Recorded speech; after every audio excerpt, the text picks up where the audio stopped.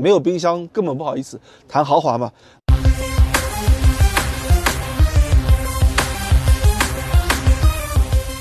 大家好，我是车销售的陈鑫。那我们今天来到了广州，不光试驾了魏牌高山的那个长轴加长版啊，它也试驾了我们身边的这一台魏牌高山的四驱企业版。这两台车其实最直观的一个差别就是它们的轴距，它其实是长度是有不一样的。那么前面我们刚刚聊完了这个长轴版，那么接下来可以说来聊聊这个标准版，也就是我身边的这台四驱旗舰版。那么魏牌高山四驱旗舰版啊，跟那个魏牌高山的行政加长版其实是在设计风格上是保持着统一的。当然，首先就是说大家都很喜欢的这种直瀑式的进气格栅。那此外呢，我还想单独的聊聊它的一些细节，就是说我们不光拥有一个就是说非常出色的设计语言，就是说那个高山流水嘛，那么这个植物式的它是属于有点那种高山的感觉，那侧面的腰线呢有流水的感觉，同时呢。就是咱们的魏牌呢，在这个 MPV 的设计上，也会尽量的去往豪华这里去做，因为它给了许多的这种啊比较大气的镀铬，然后还有相对来说比较夸张的那种侧翼的那种导流版的设计嘛，让这台车看起来没有太过于的家用，而是能够呈现出来一场这种超过三十万以上的 MPV 所呈现出来的那种应该有的派头。我觉得这是一个。非常不错的，因为现在其实你可以看到，咱们在自主品牌在打造 MPV 的时候，其实都会尽量的往这种豪华，或者是往这种运动性能上面去做。但是呢，每一个 MPV 所的打造的方式其实还是有些不一样的。但如果你单纯的来看这一台车，你就会觉得，呃，也还行。但是如果但凡你要去将魏牌的高山去跟其他的这种 MPV 进行做对比，其实一上一下，它的气场感觉完全就不一样的，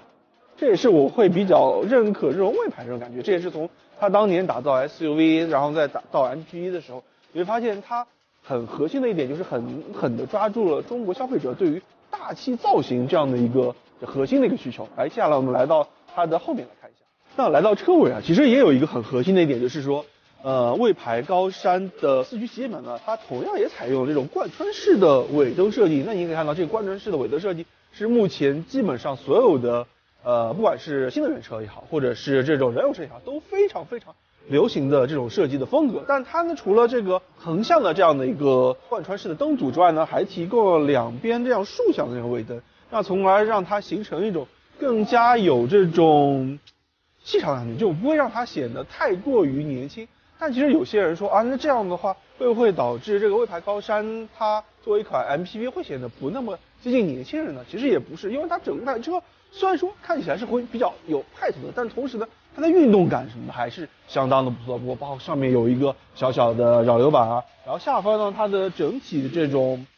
没有太多繁琐的一个细节，你可以看到它的车尾的那种整体度和完整度都会比较好。我觉得这也是属于是那种年轻人或者是。年龄层次上去一点的那种消费者也都会比较喜欢的。那来到第二排啊，魏牌高山的 MPV，它提供的是目前咱们 MPV 都会比较崇尚的这种第二排非常尊贵的体验。那么魏牌高山四驱旗舰版呢，它给后排的配置给的还是非常的充足的。那每一个座椅，你看后排两个座椅均提供了这种座椅通风、座椅。加热和座椅按摩功能，同时呢，它的一个触屏有两个位置，一个是在后手的内侧，同时呢，在一些对于一些空调啊这种灯的调节上面，都会在上方提供了一个啊触摸屏，而且它那个灯组什么的也是采用这种一触即开的这种方式啊，就呈现的比较高级。它就是你放眼望去，可能就没有太多的这种物理按键，但其实每一个细节你触手可得的地方，其实都是这种按键，而且是一触即可。啊，说了半天好像有点渴了，那我们打瓶水了。小冰箱打开，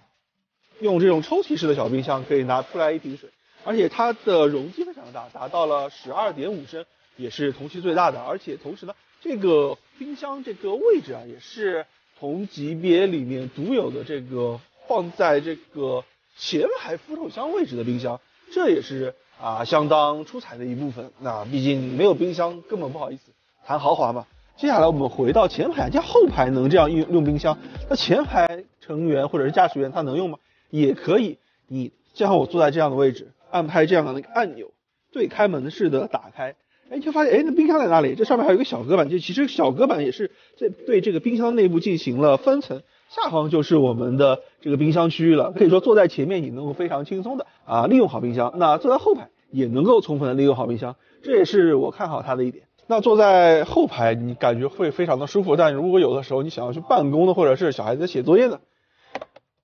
打开这个小桌板也就是可以了。而且这样的小桌感，不光左边有一个，右边它还有一个。那此外呢，魏牌高山四驱旗舰码，它目前还能享受到一个非常不错的政策，那就是三重尊享。升舱礼包，干什么？就是这台车在上市三个月之后啊，它吸取了这个消费者的意见，然后呢，提供了一些比较出色的一些配置升级啊。一个就是说，呃，可以免费将那个悬架升级成舒享感悬架；另外一个则是有七折去享受到后排的那个吸顶屏幕，以及给 OTA 升级。然后 OTA 升级完之后呢，你的车机系统会拥有更多更丰富的一些玩法。那我特别想说一下，就是第一项这个升级项目，就是啊底盘的舒享感。底盘到底是怎么回事？就是，呃，咱们的魏牌高山四驱旗舰版啊，它当初在进行一些底盘标定的时候，它可能是更多的考虑到了驾驶者的感觉。毕竟这台车的系统综合输出功率啊是超过七百牛米的。我在高速上面开它的时候会觉得，哇，这开起来真的是非常的带感，甚至是让你爽快的不像是一款 MPV。但是嘛，就是。一款 MPV，它不光是需要让驾驶者感觉到更舒服，可能也会需要让副驾驶啊、后排啊这些的成员感觉到更舒服。所以呢，就很多人就是觉得啊，可能在呃自己有的时候也会需要一些更多的向家人考虑。那么魏牌高山呢，就会。特别考虑到这一点，会将咱们的这种底盘进行那种升级，而升级完之后的这个舒享感的底盘呢，它会顾名思义就会在这个整体行驶的平稳度、对底盘的一些细碎颠簸的这种过滤啊等等方面都会有更出色的表现。它在驾驶的爽快感呢，稍微做了那么一点点吧，但是呢。全车的整体的这种行车的品质感会有这种更大幅的提升，也就是说会让它的整体的乘坐表现会觉得更均衡一些。我觉得这还是一个相当负责的这个品牌的做法。所以啊，作为自主高端品牌所推出的这种旗舰级的产品啊，我觉得魏牌高山它目前一共推出了三个配置的车型，但是呢，你能够从它对待第一批车主的这种态度就可以看出来。这确实是一个非常用心在做品牌、非常用心在打磨产品的这么一个团队所做的事情。那魏牌高山这台 MPV 啊，我觉得它将在2024年的 MPV 的销售榜单上一定能够凭借它出色的产品力以及出色的后续服务，能够吸引更多消费者的认可，并且在二零二四年的榜单上面在前排占据一席之地。